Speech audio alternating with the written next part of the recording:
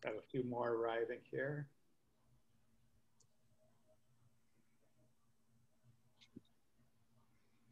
Well, welcome to everyone. Welcome to our series on the Catholic perspectives on racism and white supremacy. I'm Dr. Jeffrey Burns, the director of the Harpst Center for Catholic Thought and Culture, and I'm delighted to welcome Bishop Mark Seitz from the Diocese of El Paso this afternoon. A few insights to make your viewing more uh, enjoyable. First, you want to set your view to speaker view. This will enable you to have a better view of Bishop Seitz during his talk. Everyone will be muted during the talk. If you would like to ask a question, please submit a question through the chat function on your Zoom panel at the bottom. At the end of his talk, he will entertain a number of questions that will be moderated by uh, Dr. Michael Lovette-Colyer. Uh, and so we will have a question and answer at that point. You also might want to turn your own uh, video off, which will help the bandwidth in this presentation. So it's my pleasure to introduce uh, Dr. Michael Lovette-Colyer of University Ministry to introduce our president. Yes, good afternoon. Thank you everyone for joining us today for this very important and timely topic. My task is very brief but important, which is to welcome and thank our president, Dr. Harris, for being with us today. For those of us as a part of the USD community, we're familiar with Dr. Harris, but for those who, who are not, just like to do a brief introduction. Dr. James D. Harris became the president of the University of San Diego in August of 2015. So by my calculations, that's about five years. uh, before that, he served as for 13 years as president of Widener University in Philadelphia and prior to that as president of Defiance College in Defiance, Ohio. Hmm. During Dr. Harris's time at USD, one of his main focuses has been envisioning 2024, our strategic planning process that anticipates our 75th anniversary in that year, and that includes a significant focus and concern for diversity, equity, and inclusion at all levels of our institution. During his time with us, Dr. Harris has created a number of working groups and task forces charged with assessing and further developing our diverse and inclusive community, building on the work already done, as well as addressing the ongoing opportunities and needs to, for improvement. In recognition of his considerable contributions to education and the committees he served on across the country, President Harris has been the recipient of many awards and honors, all of which are listed on, on his bio, but I'll just mention briefly some leadership awards from the NAACP, and the Urban League for his work on defending civil rights. We're very grateful for his investment in and commitment to uh, the issue that we're talking about today, which is racial justice and racism, and his willingness to be with us to introduce the bishop. Thank you very much, President Harris. Michael, thank you for your very kind introduction. And Jeffrey, uh, this is a marvelous series, so thank you for bringing this together. I also want to thank, I see that uh, Bishop McElroy is on the call today. Bishop McElroy, it's always wonderful to have you with us. I, Michael, uh, last week I had someone introduce me and say he's been the a Catholic, he's been the president, Catholic president of a university, president, Catholic president of University of San Diego for five years. I said, well, I've always been a Catholic president. It's only been five years at the University of San Diego. It's my honor today to uh, formally introduce our, our guest, uh, the Most Reverend Mark Seitz. Uh, Bishop Seitz has been was born in Milwaukee, Wisconsin, the eldest of 10 children, and he was ordained as a priest in the Diocese of Dallas in 1979 after receiving his bachelor's degree in philosophy as well as a master's of divinity and an MA in theology from the University of Dallas. He, uh, he also received his uh, master's in liturgical studies at St. John's University in Minnesota. So he comes to us as an academic as well. After his priestly uh, ordination, uh, Bishop Seitz served as a pastor of multiple parishes uh, around Dallas, Texas. And he also taught liturgical and um, sacramental theology at the University of Dallas. And he told me earlier that he's on serving now on the board of that fine university, the sister institution as well. In 2010, uh, Pope Benedict elevated him to the office of bishop, and he was then ordained and appointed as the auxiliary bishop of Dallas. In 2013, uh, Pope Francis appointed Bishop Seitz as the sixth bishop of El Paso. And he is serving the borderland community whose sister uh, cities are just across the border in Mexico.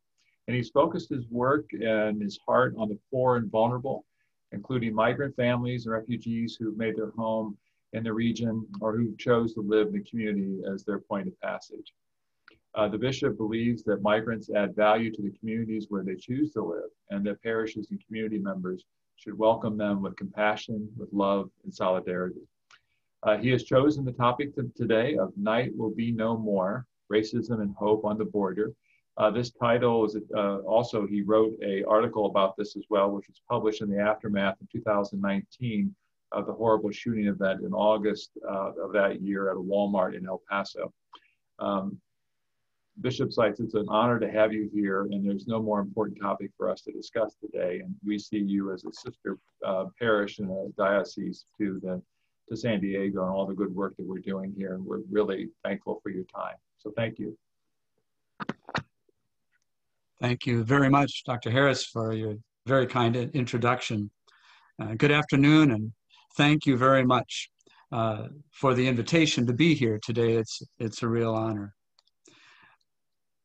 I've been asked to speak about the topic of race and hope on the border. These are issues which have taken on new relevancy and immediacy in light of recent events, especially in our national struggles to affirm the dignity of Black lives and to address the ongoing pandemic. I don't think that these two things are unconnected. I think we all feel that there are deep movements going on beneath our feet, that we are wrestling with deep seated issues with historical resonance and spiritual weight. There are very profound and subterranean connections. The pandemic, in particular, continues to push us beyond our comfort zones, beyond the edges, beyond commonplaces and cliches both the cry of Black Americans for equality and more deeply for justice, as well as the pandemic, have fallen like divine meteors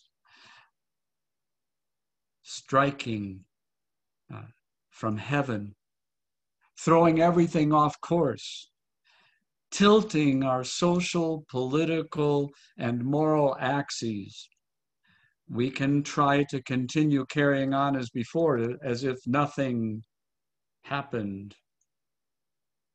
But we will run up against limits, not of our own creation, moral limits, spiritual limits, divine limits. There is something mysterious and divine about the pushing about this pushing and prodding. Our Holy Father, I believe, is very much feeling this too. He states very plainly that it is in large part what motivated him to write his latest encyclical, Fratelli Tutti, which I encourage all of you to read. In it, he notes very tellingly that the pandemic has only made it all the more urgent that we rethink our styles of life, our relationships, the organization of our societies, and above all, the meaning of our existence. He gestures towards a very basic decision we need to make in order to rebuild our wounded world. We are at a decision point, a moment of crisis and the Pope writes In moments of crisis, decisions become urgent. I want to come back to this theme, but first let me describe for you a moment that I experienced just one year ago that tilted the axis, axis of the border community in which I live. I'm speaking about the massacre of August 3rd, 2019. You might say, for me at least, it was the beginning of being woke. A rare, quiet, unscheduled Saturday morning changed in an instant when I, a call came in about the events unfolding at our Cielo Vista Walmart. I called the county judge and we met at the hospital so he could get me past security. I worked my way to the emergency room and I immediately began to see the carnage. I entered a room where the body of a young mother lay. She had probably been holding her six week old baby in her arms alongside her husband when they were both murdered. She fell on the baby, who survived with a contusion on his head and broken fingers. I gave conditional absolution and said some prayers for the dead. Then I was ushered into a room of a middle aged Spanish speaking woman shot in the thigh she was concerned only for her husband, who had also been shot. They were unable to give her any information about him. Many victims were brought to surgery immediately, and I was unable to visit them. When there was a lull in the arrival of ambulances, I went over to the children's hospital. I visited the baby whose mother had been killed as she held him. No one knew his name. He seemed surprisingly calm. In the room next to him was a nine year old girl shot in the leg. She told me that she was from Chihuahua, Mexico, and that her family was passing through El Paso on vacation and had decided to make a quick stop at Walmart. The day wore on, and the pain of the victims and their families began to accumulate. I did the only thing I could do at that moment. I, I shared it with the Lord. In those days, my responsibility as a priest, called to bring hope into the most desperate situations, was ever before my eyes. You can't do it with trite sayings. You can't minimize the rawness of grief. You can't wish away pain. But I do know now that for me, with faith, it is possible to look darkness and death in the eye and come out on the other side. It's as the poet Julia Esquivel writes, lo que no nos deja dormir es que nos han amenazado de resurrección. They can but threaten us with resurrection. That faith carried me through the succeeding days of grieving and burials. What happened that day would take 23 lives. The act of racial terrorism in El Paso took many of us out of complacency and startled many of us awake. What happened in El Paso that day is important and needs to be remembered.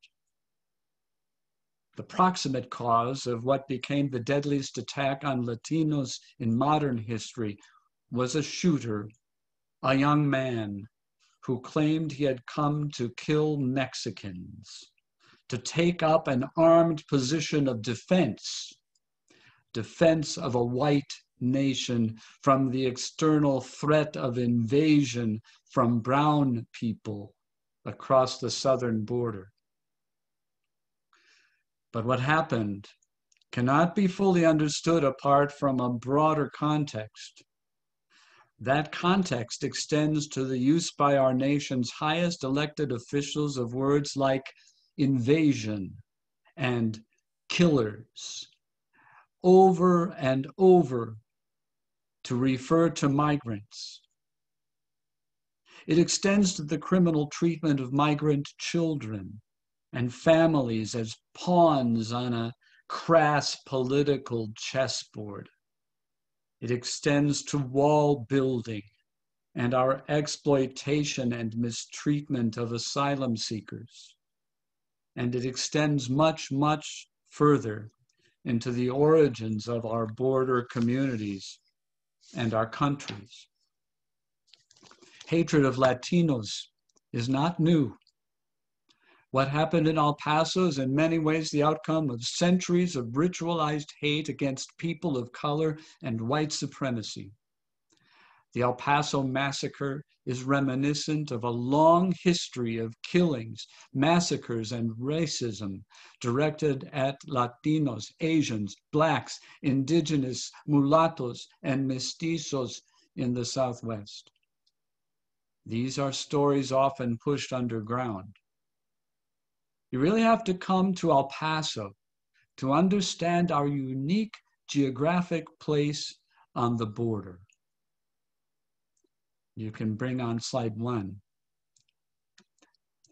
We are situated in a valley which we share with our sister city of Ciudad Juarez, Mexico, nestled between the southernmost point of the Rocky Mountain Range and the northern point of the Sierra in Mexico, an amazing point where the Americas converge.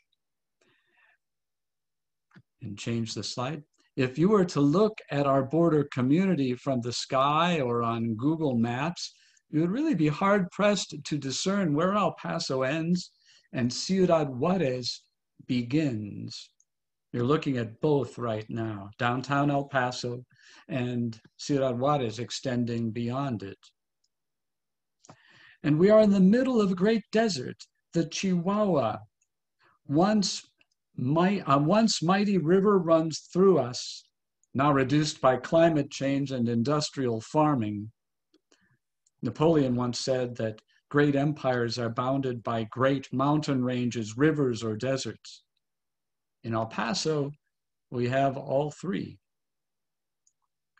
On account of the geostrategic importance of our place on the border, our land and the peoples who have lived here, indigenous, Spanish, Hispanic, Mexican, Tejano, American, and many more, have been subject to multiple colonizations over time.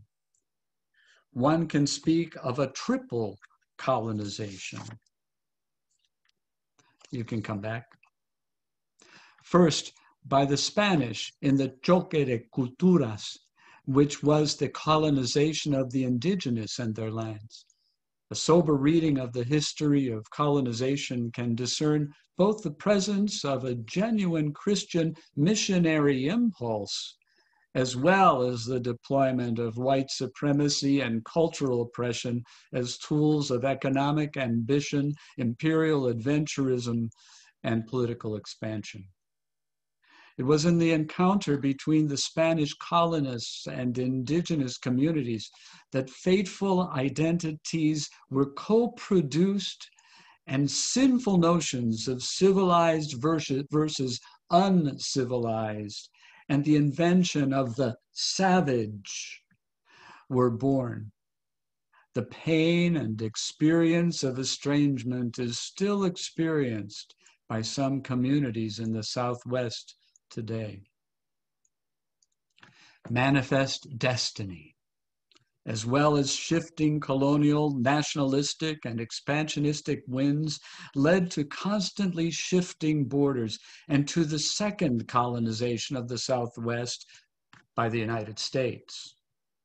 This brought a wave of prejudice, harsh laws, and social exclusion against Latinos and other people of color, disenfranchisement, the lynching of Latinos, the internment of Mexicans, and the development of institutions with racialized origins.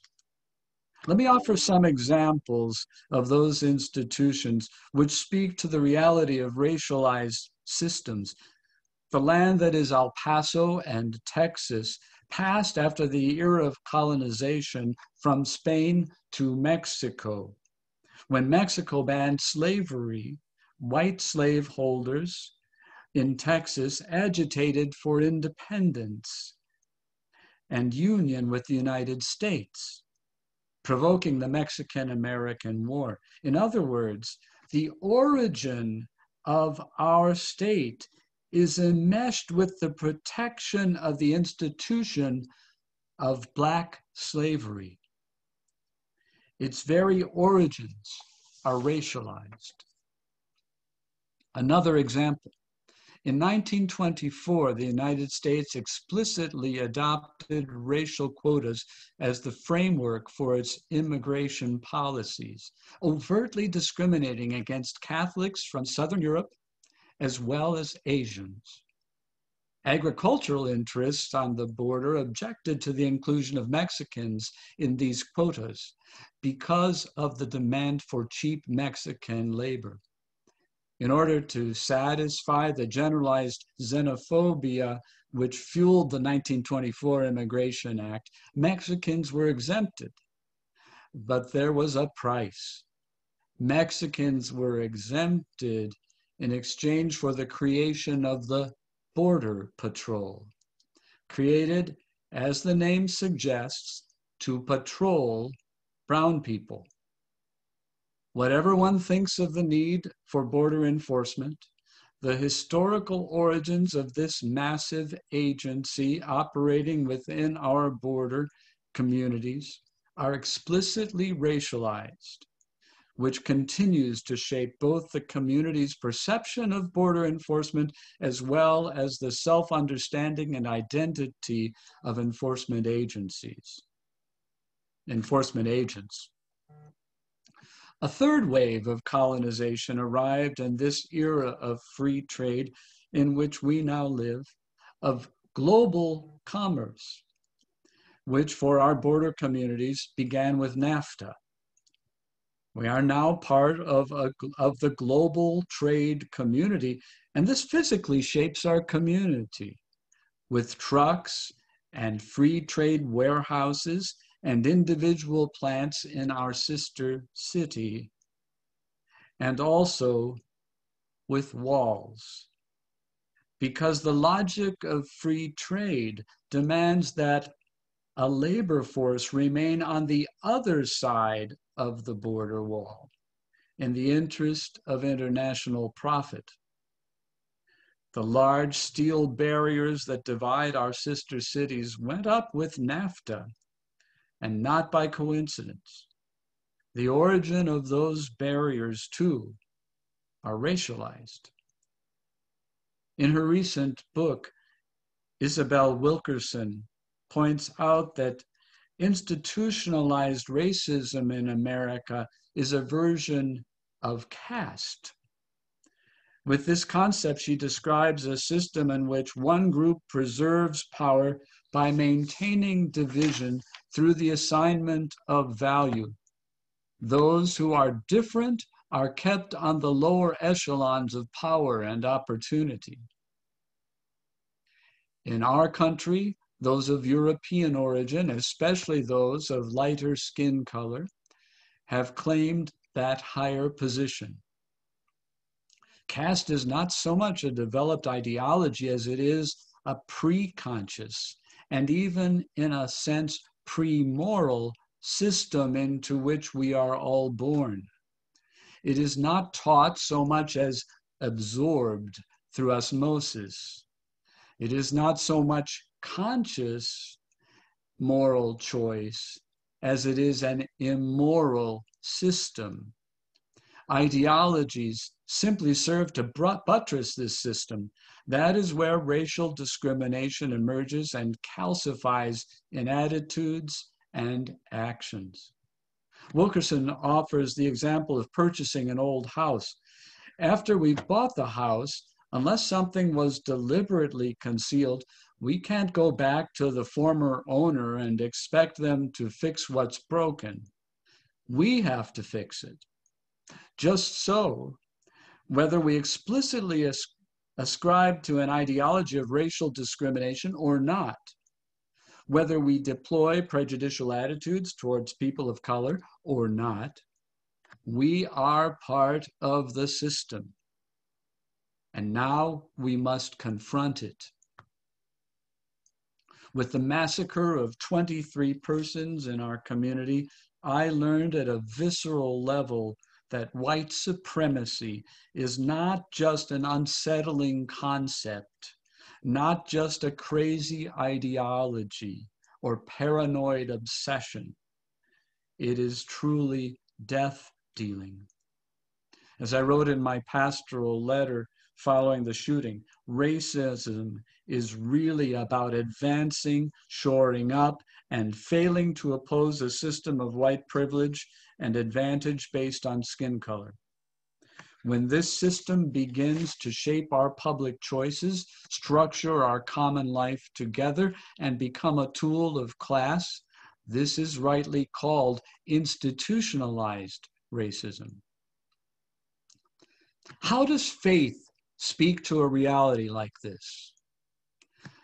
The idea that human beings are not all endowed with the same human dignity, not part of the one human family, that some are more loved and more equal than others, that our worth is defined by our racial and cultural uniqueness, mocks Christian revelation and mocks God. White supremacy strikes at the core of Christian revelation that humanity has been loved into being by God, that every human being is the subject of God's love and mercy, that God so loved the world that he assumed our humanity and gave his life for us. Not only do white supremacy and racism threaten our faith, they also undermine the principles upon which our nation was founded, especially the insight described in the Declaration of Independence that all men are created equal, that they are endowed by their Creator with certain unalienable rights, that among these are life, liberty, and the pursuit of happiness. There is a link between the historical legacy of racism in our country and our treatment of immigrants. I might point out that this legacy began with the forced immigration of some millions of Africans to the Americas in the slave trade. Any relationship which allows a division between an us and a them risks being a seedbed of discrimination differences and diversity, assuming we are not speaking about distinctions between moral and immoral behavior, should be seen as contributing to the rich tapestry of humanity, a blessing providing for a complementary complementarity and a richness that enhances our unity. Let me now return to what I think the Holy Father is trying to communicate in his new encyclical. In his document, the Holy Father uses the word heart more than 50 times. Indeed, chapter 4 is entitled A Heart Open to the World. If the encyclical were a symphony, one of the main movements would be the expansion of the heart toward the stranger who becomes a neighbor, towards the foreigner, towards the mystery that encounters us in the other. This trajectory finds its fullest expression in fraternal love, the explicit theme of Fratelli Tutti, and a theme that resonates throughout the gospel. As Paul says in the epistle to the Galatians, the whole law is summed up in a single commandment you shall love your neighbor as yourself. This movement of the heart and the fraternal love that flows from it must find expression in public life, in our social structures, in political life. That is, in many ways, a major part of the mission of a Catholic university to discern the possibilities of more deeply shaping our common life on the pattern of love, justice, and solidarity. Racism is deeply counter to fraternal love. In his encyclical, Pope Francis points out that the very existence of racism in society is a key index of how genuine our social progress really is. He speaks prophetically to the recurrence of racism in our own country, of racism against people of color and xenophobic attitudes. He says, in addition to readiness to discard others, uh, in, in addition, a readiness to discard others finds expression in vicious attitudes that we thought long past, such as racism, which retreats underground only to keep reemerging. Instances of racism continue to shame us, for they show that our supposed social progress is not as real or definitive as we think. Later on, he writes Racism is a virus that quickly mutates and instead of disappearing, goes into hiding and lurks in waiting. In our own national context, we have the sense that we are wrestling with deep seated, with a deep seated national failure to live up to the ideals of equality expressed quite beautifully in the founding documents of our country, yet somehow always just out of reach, realizable only with great pain and struggle. There are still in our society exiles who are treated as foreign bodies, to quote Pope Francis. It's been exposed again in the very visible and, viscer- and visceral examples of police brutality. It's been exposed in how unequally the weight of the pandemic has fallen upon certain communities. The Holy Father roots this in our failure to live up to our deepest nature, which is communion and solidarity hearts open in a progressive embrace of the stranger, of genuine human fraternity, of fraternal openness to the divine who comes to us in the other. As he says, individualism does not make us more free, more equal, more fraternal. None of us is saved alone.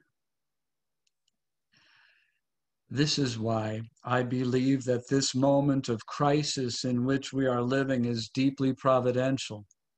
The pandemic and the struggle against racism represent a type of kairos moment, an interruption of the divine into the ordinary course of affairs, a wake up call that things are not right and that we are at the brink the Holy Father is not blind to the real stakes of this drama. The first chapter of his encyclical is entitled Dark Clouds Over a Closed World.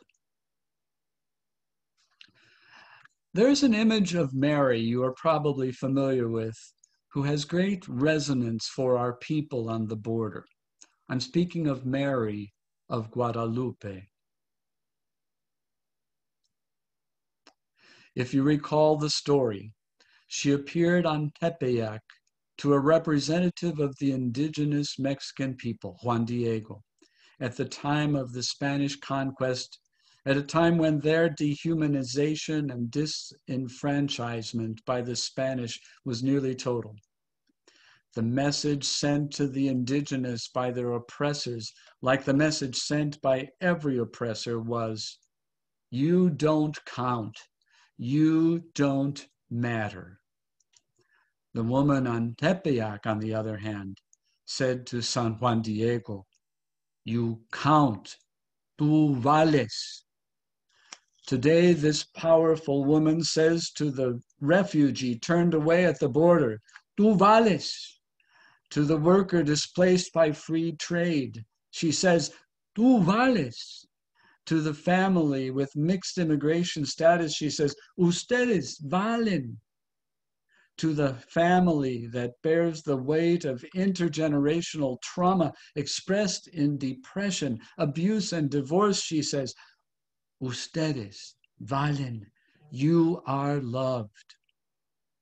Her simple message persuades us as it did that day on Tepeyac, that she is the God bearer, the Theotokos, Only a woman such as this young brown mestiza empress, born on the edges of empire and who revealed herself anew on the edges of empire, could have convinced our people of the nearness and tenderness of God.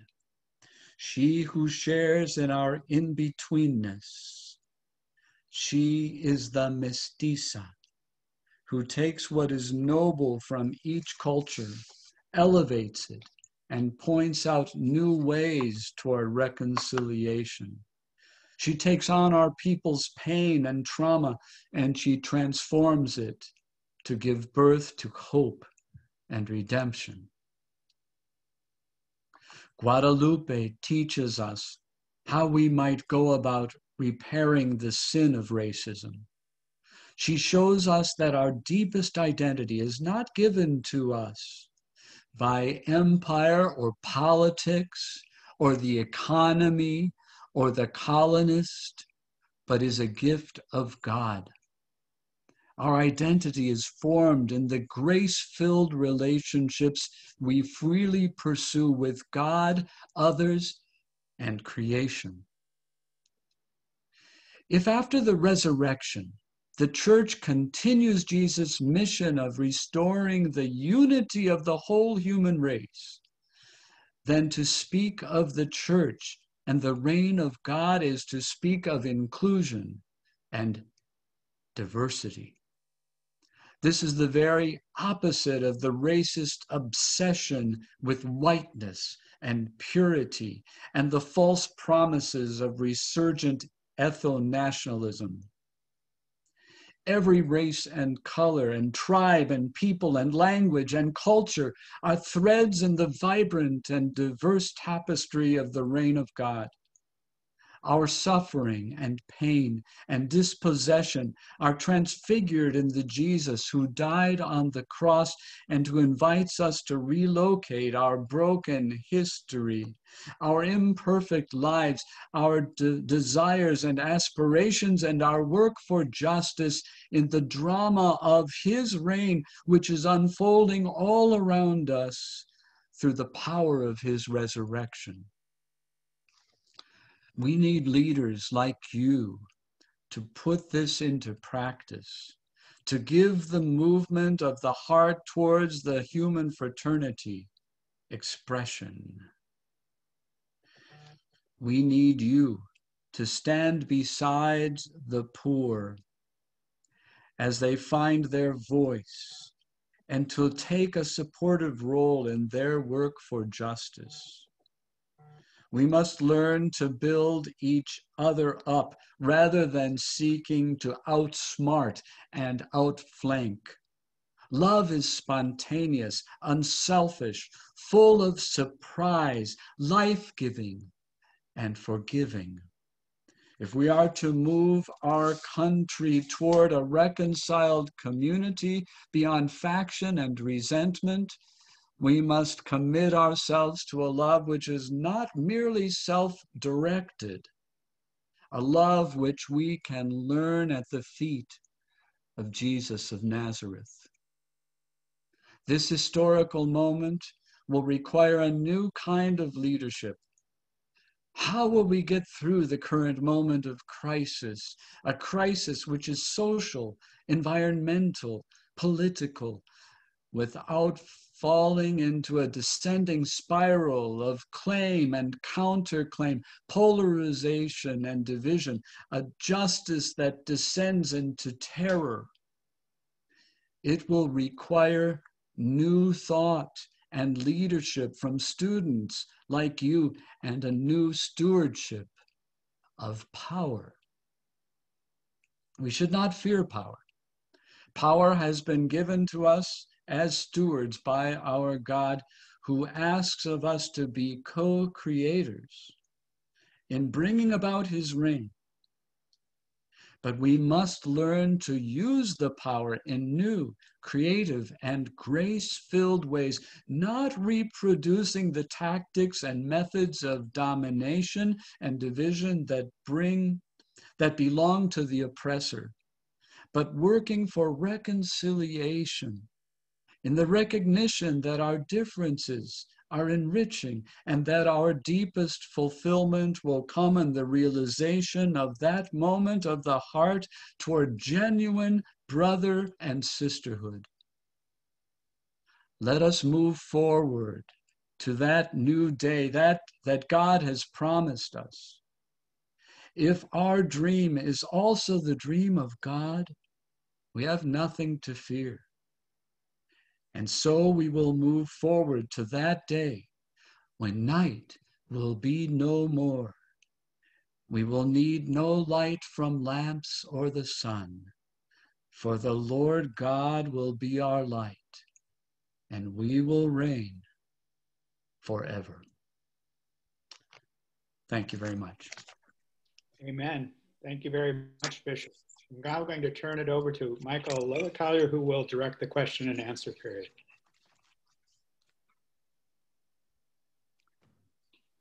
Thank you very much, Bishop Seitz, for that wonderful address. We're very grateful for that. We do have time now for questions, so please do go ahead and type them into the chat.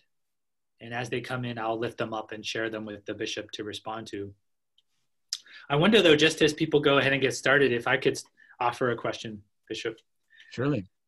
Which would be, you know, you spoke so eloquently and beautifully about the reality of institutionalized racism. And yet, many people in our country, and in fact, in our church, would dispute that it exists. Yeah. How would you respond? Uh, look again. uh, I, I, think that's one of the things I found very helpful about Wilkerson's uh, image of the caste system, because when people hear the word racism, they immediately go on the defenses, the defensive. But to understand that instead we are born into this system that is, as I said, pre-conscious um, and not chosen perhaps by us. Uh, that perhaps gives us a way we can begin to recognize the way that these systems are in fact institutionalized. They're in our system, and that's why they continue to to cause so many problems and divisions in our country, so many ideologies to rise up, and and and and economic and social divisions and so on. Thank you. Uh, so with, there, a question came in regarding the, the news that's been reported many places, Wall Street Journal and others, about the, the Trump administration's uh, decision to limit the number of humanitarian refugees to be received into the U.S. Oh, that's that began his first day in office. Um, it, it's greatly, greatly concerning to me. Uh, the, to me, it, it's uh, a, a um, a rejection of something that is so fundamentally American in the best sense of who we are. Um, this unwillingness uh, to receive people who flee, uh, have to flee their countries. Uh, you know, this poor Lady Liberty standing in New York Harbor it has been made into a liar. Um, and of course, you know, as so many have recognized, the influx of immigrants and refugees into our country has been part of the genius that has made this country what, what it is. Um, besides the rejection of those who are sent to us from refugee camps through that formal refugee system. And that whole system is basically shut down right now. Uh, I believe that the people arriving at our southern border are, in the vast majority, uh, should be categorized as refugees and not simply immigrants, because that also is a case of forced immigration where families have no choice but to flee for their lives. uh, to come to our border. They are not economic refugee or immigrants. Um, and we have closed our hearts and our doors to them as well. Um, a, tragic violation of our nation's best impulses and of the gospel. Thank you. Next question regards uh, some of what's been reported about practices at the detention facilities along the border, especially separating of families and abuses of the people held there. Are you aware of anything the church is doing to try to address those situations? Well, certainly, uh, the church has been very involved uh, in our U.S. Conference of Bishops has uh, an arm that uh, interacts with uh, the federal government, uh, with the legislature, and so on. And we've been extremely active in uh, expressing our concerns at, at that level, which is the level it, it frankly needs to be addressed. Um, we, I've testified in Congress three times, uh, and I've visited many other times myself uh, collaborating with that um, national office, uh, as have many other bishops. I suspect Bishop McElroy has had his turns too. Um, and, um, you know, so we're certainly trying to speak out. Uh, I, I stay in contact with the border enforcement agencies here and uh, continue to uh, bring before them the concerns that, that I hear. Uh, the truth right now is that the border is, for all intents and purposes, really literally closed. I mean, there's only a trickle getting through at all.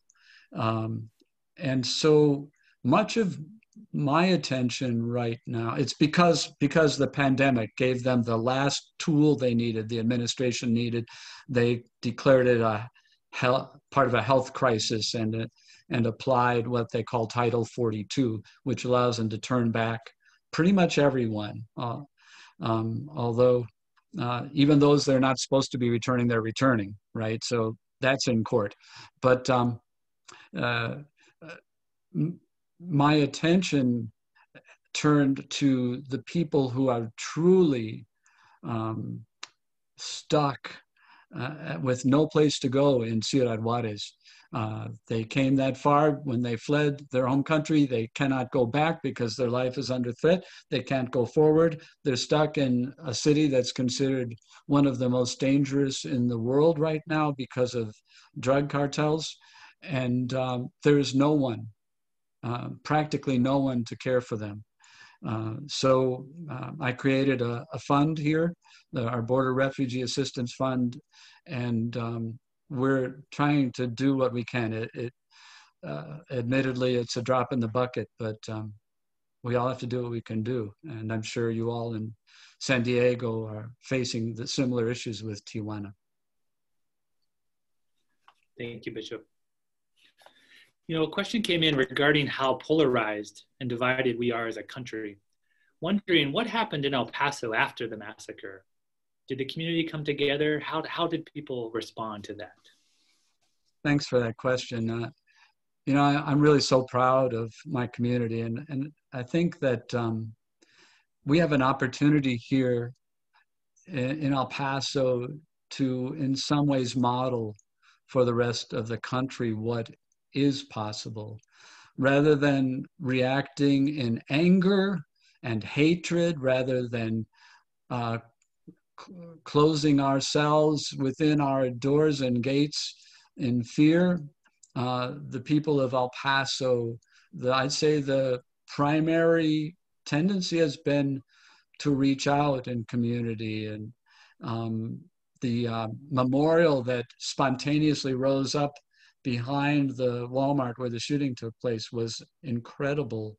Just very moving experience. There were hundreds, thousands of people there every night for weeks after that event, just, you know, making themselves part of, of that of, of that experience. Um, we, we've tr- tried to make sure that uh, we not only memorialize the victims uh, with ceremonies and prayers. But um, at the first anniversary, we, we announced that uh, we're going to create a commission on racism in our community and bring together different aspects of culture, uh, not simply like minded people, but people across the spectrum of um, political leadership, of um, nonprofit leadership, of business, and uh, ev- every part of our community to uh, to see if we can't dig into the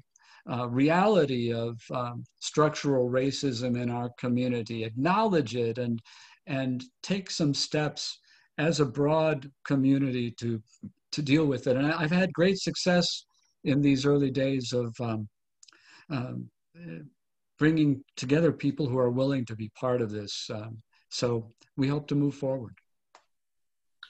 Thank you. There are two questions that have to do with uh, Catholic education, especially in the elementary or secondary level, where where teachers or parents who would like to see more uh, attention to racism are sometimes uh, told to tread lightly or to not talk about it for fear of offending others. And of course, here in California, it's a, it's a tricky issue because our fourth graders, there's a tradition they learn about the missions in California. Mm. Uh, but they're not always given the full context of the mission system.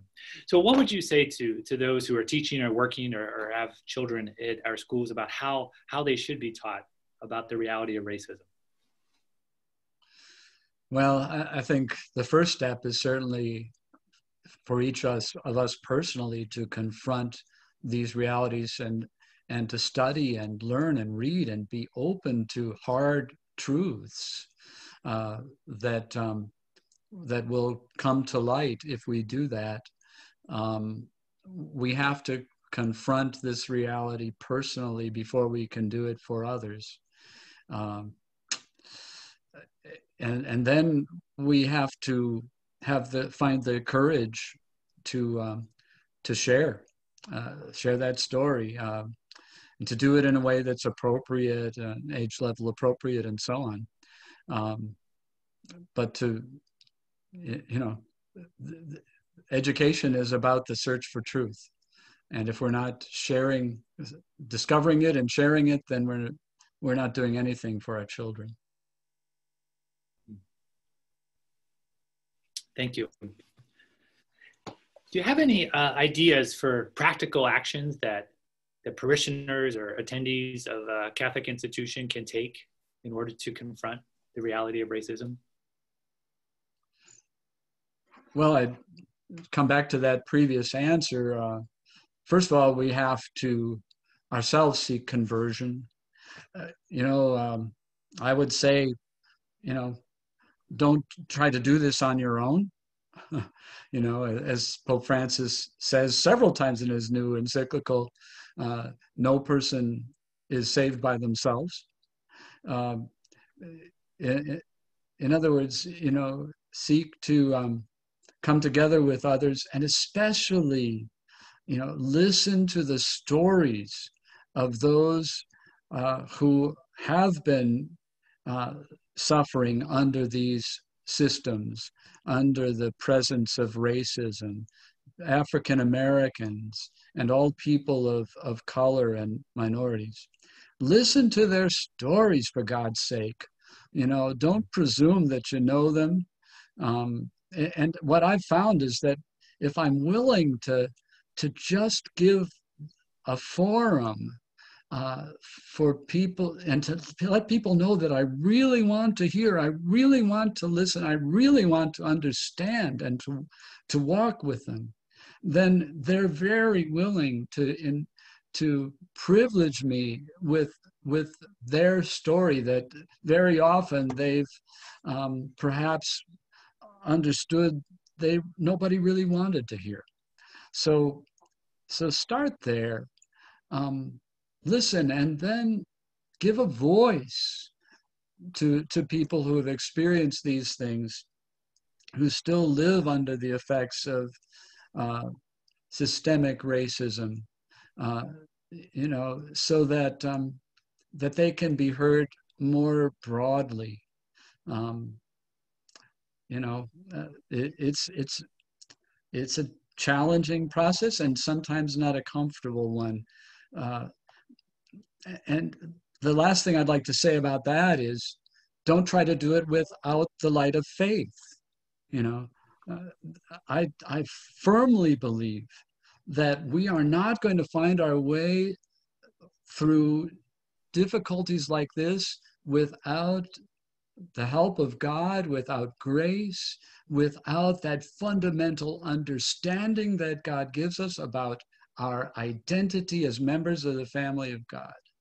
Um, and, and also, as people come to grips with their own personal pain, uh, God will also show a way to address that pain and not in cheap ways, but in real ways to find the healing that's necessary uh, so that they can be freed from, from really the constraints that that uh, past suffering has caused.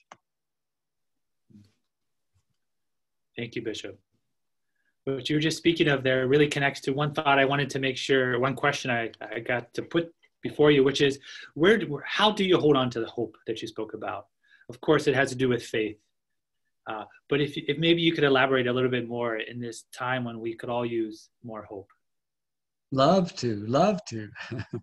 That's right up my alley there. Um, but um, you know, obviously, I, I think this this time of pandemic has, you know, besides the struggles with um, in our country with racism and the like have, you know, challenged our, the hope of, of all of us. But um, as Pope Francis has pointed out so beautifully, uh, you know, it, it's all the more reason that we have to open our hearts to to God because uh, only an uh, a delusional understanding of our own human power could lead us to think we can solve this by ourselves. you know, I frankly I think that's just a delusion. Um, but um, but faith tells us, you know, we have a God who has uh, loved us so that it was just for moments such as these, just for experiences such as these, just in the midst when we're having to confront the reality of sin in our own personal lives and in that of our society. And for those moments, Jesus came among us. And for that reason, he took up a cross. And um, for that reason, uh, he showed us that hope never dies uh, for, for a disciple of his uh, because he can transform it and and raise it up. That's beautiful. Thank you. You know, I also want to mention that a lot of the questions that have come into the chat have expressed great appreciation and admiration for your talk. So thank you on behalf of the entire community. I just, one last question perhaps, which, uh, uh, and then if you want to share any other final thoughts, but the question would be, you know, what would you suggest that a university like ours, a university you're familiar with, um, what can we do to continue to confront the reality of racism and to become more and more of an anti-racist institution? I think this uh, series is a wonderful step in that direction. And uh, obviously, you uh, have made this a, a, focus and an interest in, in, in your community. And um, uh, you know, I, I think all of us are being challenged to start within ourselves, but then to look within our communities, right? To the people we're close to and and to really explore the the ways that this kind of um, uh, uh, of collaboration, if you will, with uh, the caste system that we have created in this country uh, can can be be hiding, you know, can be present among us. Uh, I think um, building that that um, using that word that Pope Francis uses so often, solidarity, right, uh, among us, and and seeking to overcome the radical kind of individualism that sets individuals or small groups against the rest um, you know uh, we have to we have to really fight that. And um, it's deeply deeply rooted in in our um, in our world right now and particularly in our country so um, whatever you can do uh, and even in the midst of a pandemic to continue to bring people together, to encourage them to hear one another, to pray with one another, to love one another. You are doing a great work to overcome the, the realities of, of racism in our, in our society. Thank you, Bishop. Before I turn it over to J Dr. Burns again for concluding remarks, do you have anything else you'd like to say before we uh, formally thank you again? Well, um, I'd feel a, a, little bit dishonest if I if I didn't um, uh, ask you before I conclude for um, for your prayers. Uh, as a couple of you know, uh, just yesterday I, I got the uh, diagnosis of uh, COVID. And um, thanks be to God, I'm, I'm feeling fine, feeling pretty normal. Um, and I was very happy to be able to give this talk. I tried not to breathe into the microphone, so don't anybody worry. Um, but um, I would very much appreciate your prayers as I continue through the course of this. You can be assured that we'll be praying for you and all those impacted by COVID. Thank you. Thank you. Thank, you, thank you very much, Bishop. We will keep you in our prayers and thank you for your very powerful message, which challenges us all. Uh, and so we thank you for your presence and we promise to have you out in San Diego soon. So oh, I'd love it. Okay. Uh, this event was brought to you by the uh, University Ministry and the Harpst Center for Catholic Thought and Culture. And the series continues next Thursday at 1230 when we have Dr. Noel Tia Pratt, who will speak on what she's titled, The Call is Coming from Inside the House. How can the Catholic Church become anti-racist?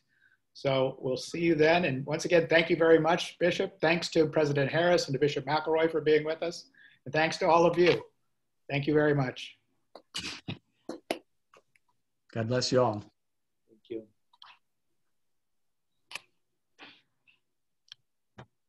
That was great. Thank you. Pleasure. Pleasure. I hope it was helpful. Yeah, it was great. Oh my goodness. So mm-hmm. A lot of uh, time for meditation on that. So thank you. Well, hopefully we'll be in touch.